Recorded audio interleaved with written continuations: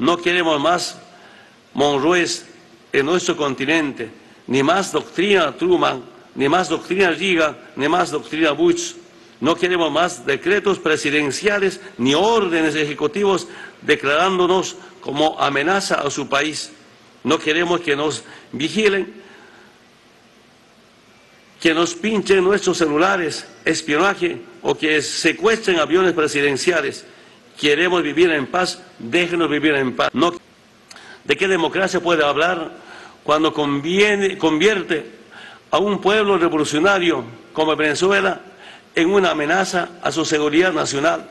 El pueblo venezolano, junto a América Latina y al Caribe, no somos amenaza para nadie. Somos pueblos cuyas armas de combate son la solidaridad, la justicia, la igualdad, las ideas. Luchamos para que nuestros ciudadanos gocen de su condición de seres humanos. Con esa lógica, entonces, conviértanos a todos los gobiernos de América Latina en una amenaza evidente a su seguridad.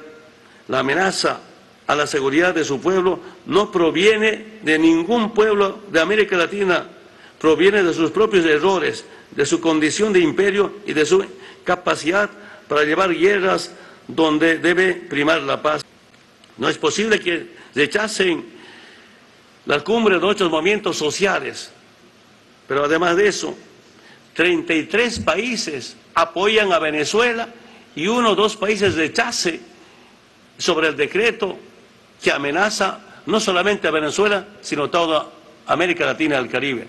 Hermanas y hermanos, si Estados Unidos es una potencia, una de las potencias del mundo, yo pido al presidente Obama que lidere América para que América sea una, un continente modelo de paz y con justicia social.